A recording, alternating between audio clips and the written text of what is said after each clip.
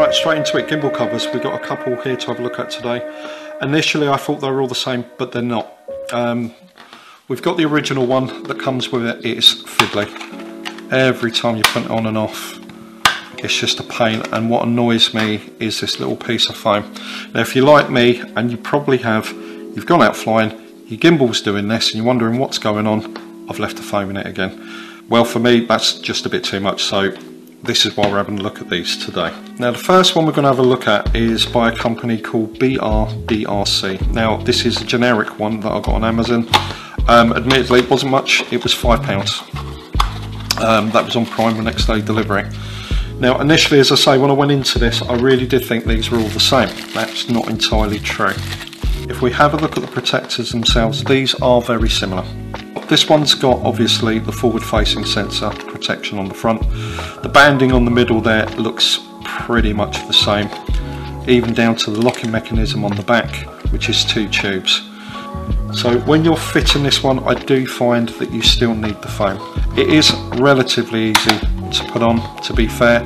You unclick from the bottom, little pinch at the top, and it's it's a lot easier than the, the original one, to be fair.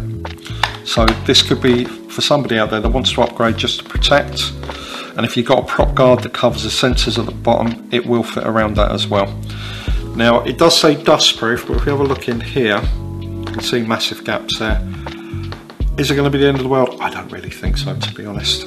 But um, it seems durable enough. It seems as good as the original, but just a little bit easier to actually fit. Now number two we're going to have a look at here is SunnyLife. If you fly Mini 3s, Mini 2s you're going to be very familiar with these. They are a cheaper brand and they are all over the market but the products are good.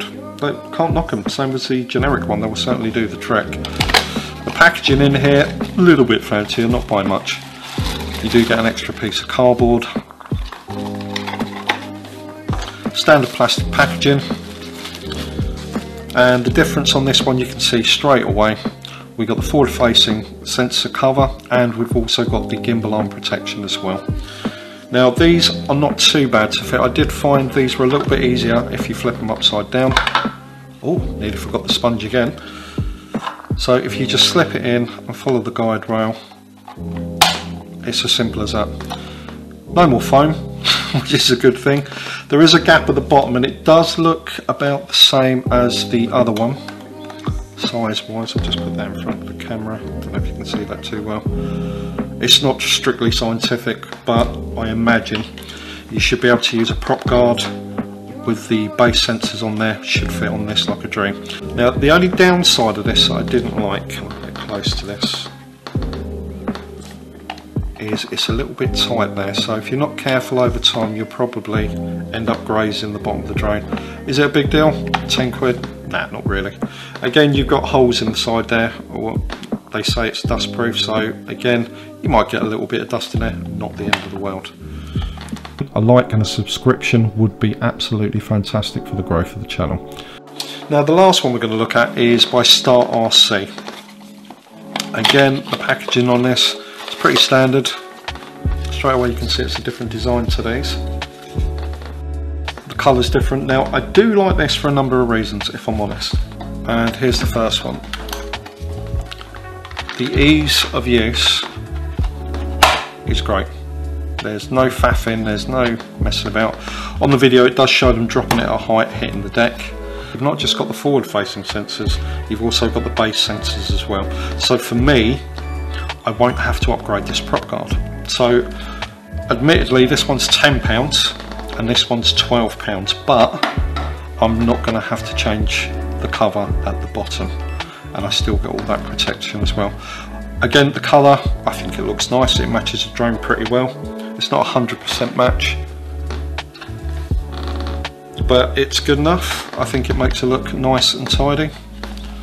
Ease of use is just brilliant. Now I did notice in the bottom of this one you have got like a little slot here. And that's for your gimbal. You can see the base there. When you put this on I'm hoping you can see that in there. I've got a little head torch on at the moment. It just sits forward and locks into place. Now I have seen online people are saying this gets stuck. I've done this a multitude of times. And to be fair I've not really had any issues with it. It might be just me. It might be the product somebody else has had, but no, that seems to be fine to me. If you've got a prop guard that covers these, I'd probably get one of these. They're a fiver. And if you're not worried about the foam, I think that's going to be one for you. If you don't really want the foam in it and you just want to slip it straight on, um, not really worried about the wear and tear, I'd definitely go for this one. It's £10, it's cheap.